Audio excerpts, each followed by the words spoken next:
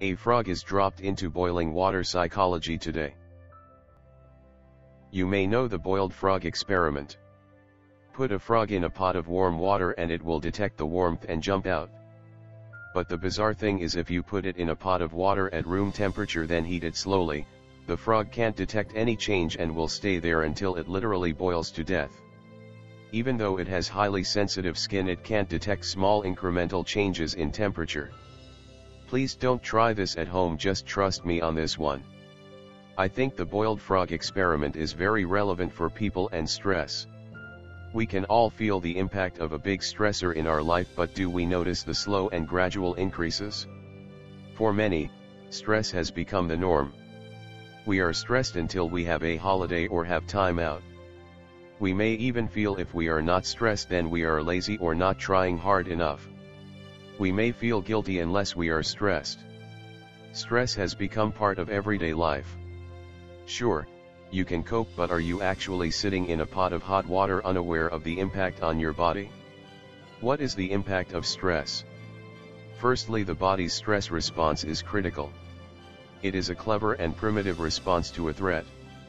The brain detects a threat and creates a biological shift to ready us for action. The brain triggers the sympathetic nervous system response the fight or flight response.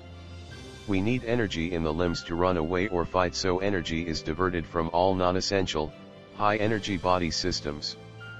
Functions like immune response and digestion are important but in the moment of threat are high-energy users and unnecessary. So that energy is better diverted to our limbs. Stress hormones therefore impede digestive function and immune function clever because it keeps us alive. Basic brain function also uses massive amounts of energy. 25% of our energy goes to keeping the brain working. In the moment of threat that energy is better spent running away so the stress response redirects that energy to our limbs and in doing so impairs higher cognitive function. And lastly the presence of adrenaline makes the nervous system highly sensitive and alert. We are wired and ready.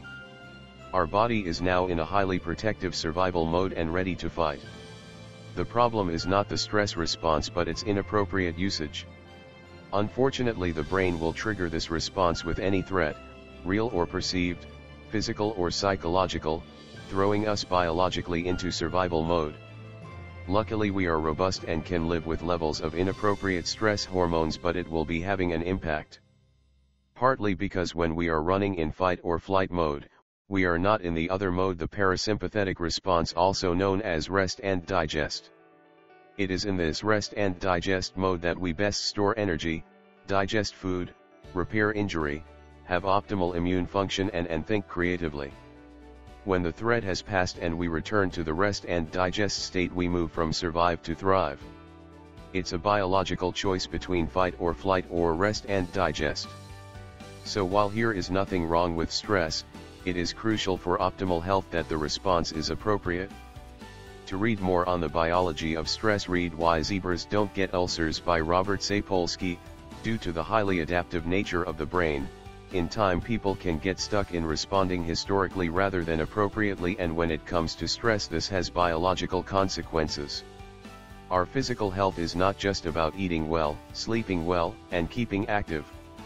A dysfunction in the production of stress hormones will impact on our physical health. The good news is that stress is something we can do something about. We can take charge and change our lifestyle, our behavior, our attitudes, beliefs or perspectives rather than just coping with stress. We also don't have to avoid the things that set us off. We can recognize that the problem may not be the stressor or trigger, work, people, exercise, food, chemicals etc., but how the brain is responding to it.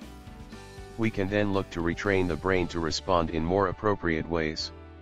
So sure you might be coping pretty well but maybe it's time think about jumping out of the pot. It's time think,